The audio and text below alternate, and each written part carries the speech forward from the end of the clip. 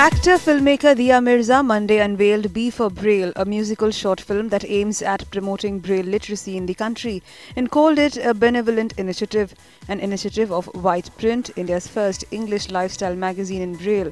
The film revolves around a 10 year old visually impaired boy who is intrigued by a book that he accidentally finds, leading to a profound connection that he develops with his father's storytelling.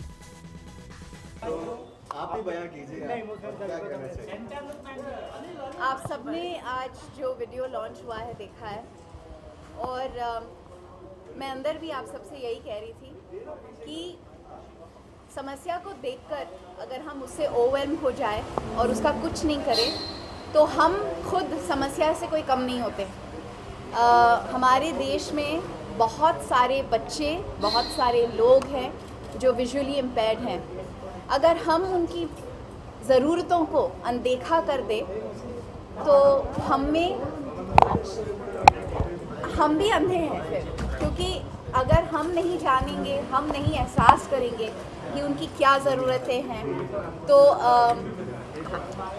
as a society we will remain blind we need to change that मैं उपासना की शुक्रगुजार हूँ। जो उन्होंने आज मुझे यहाँ पे बुलाया, मुझे बी फॉर ब्रेल जो म्यूज़िक वीडियो है, उसका लॉन्च मेरे हाथों से करवाया।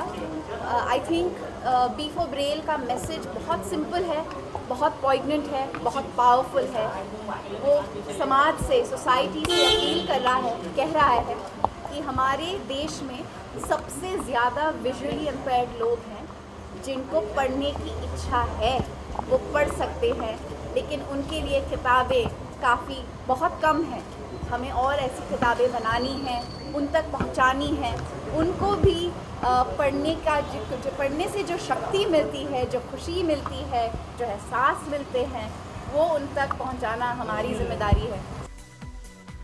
Upasana Makati, founder and publisher White Prince, said that the ratio of visually impaired and the literate visually impaired is skewed.